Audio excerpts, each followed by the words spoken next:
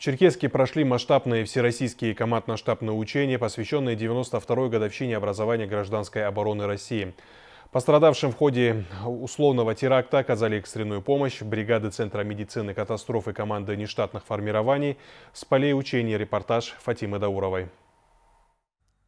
Тема сегодняшних учений – отработка действий различных структур в случае чрезвычайной ситуации. Свой профессионализм должны были продемонстрировать представители службы медицины катастроф, сотрудники подразделений регионального управления МЧС России. Главная цель заключалась в организации лечебно-эвакуационных мероприятий при ликвидации медико-санитарных последствий условного чрезвычайного происшествия. Э, этап э, организован на оказание медицинской помощи пострадавшим.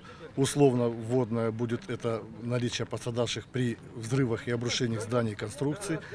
Э, значит, э, учения будут проводиться среди нештатных медицинских формирований, которые обеспечивают мероприятия гражданской обороны и участвуют в чрезвычайных ситуациях.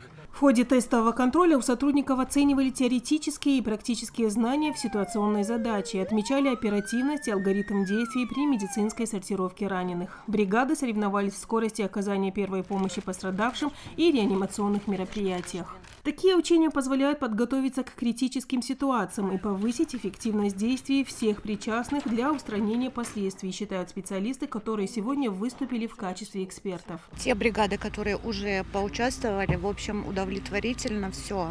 Они есть, конечно, нюансы некоторые, но в общем я могу сказать, что молодцы и быстро, и грамотно, и четко все делают. Наша задача как можно больше спасти жизни, потому что бывают ситуации, когда никто, кроме нас, помочь не сможет. Именно поэтому мы постоянно тренируемся оказывать помощь, делятся участники соревнований. Мы первый раз участвуем в подобном мероприятии. А, конечно, это волнительно, поскольку первый раз. Но, конечно, мы были настроены, а, были подготовлены. Э, считаю, что мы хорошо справились, э, оказали пострадавшему первую медицинскую помощь и эвакуировали его с места э, ЧС. Мы, конечно, все это проходим в институтах, но все это в голове не держится, потому что это не наша специфика. А благодаря таким учениям, конечно, мы все это вспоминаем и даже где-то дорабатываем, где-то даже, наверное, новое узнаем для себя.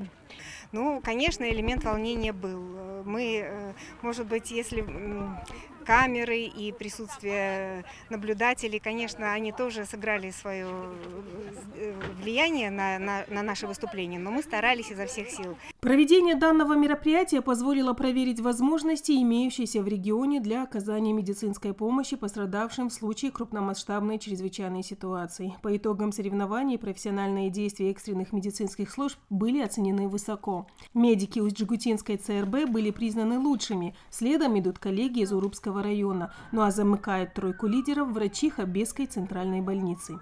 Фатима Дорова, Олег Малхожев, Вести, Карачаева, Черкесия.